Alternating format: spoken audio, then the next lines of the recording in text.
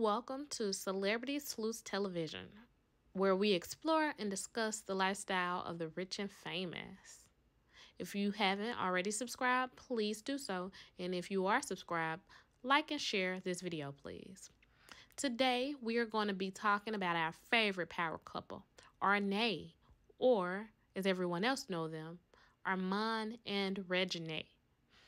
In previous vlogs, Armon bought a ring and pranked his friends like he was proposing to Reginae. But if we think back on the summer, Reginae caught the bouquet at her mom's wedding, which indicates that she'll be getting married soon or she'll be the bride next. This leads me to question Did Armon propose to Reginae or will he in the near future?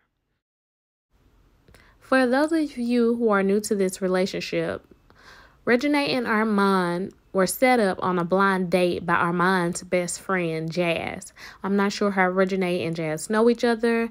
Um, all I saw was the video of Armon and Reginae answering the questions while they were blindfolded. It seems like after that, that was their initial meeting, but after that, they fell head over heels and they've been inseparable ever since.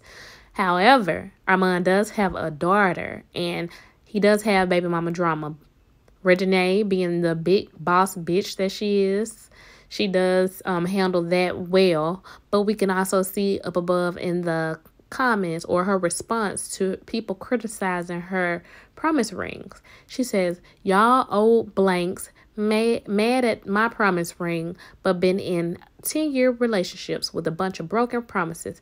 Get you somebody to take care of your time, not waste it, aunties.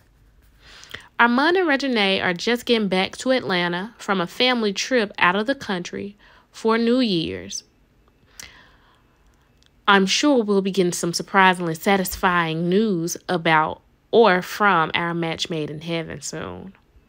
My fellow sleuths, tell me what you're thinking in the comments. Will Reginae and Armon marry soon?